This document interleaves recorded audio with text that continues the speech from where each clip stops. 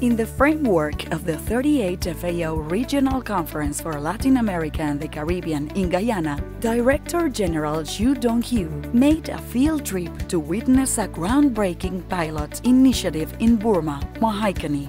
This initiative harnesses the power of drone technology, a cutting-edge tool to aid small producers in detecting pests, diseases, and nutritional issues that could jeopardize their rice crops.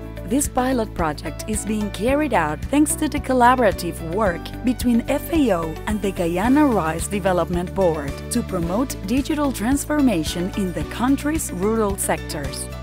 The collection and analysis of the information obtained by the drones will be carried out by professionals who have already been trained to perform this task.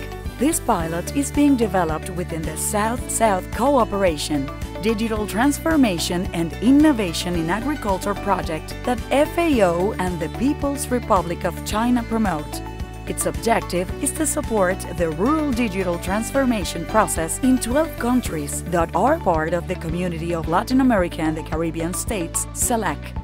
Bringing connectivity and digital tools to the rural sectors of Latin America and the Caribbean is a part of the efforts we must make to achieve an inclusive rural transformation to have more efficient, inclusive, resilient, and sustainable agri-food systems that provide better production, better nutrition, a better environment, and a better life, leaving no one behind.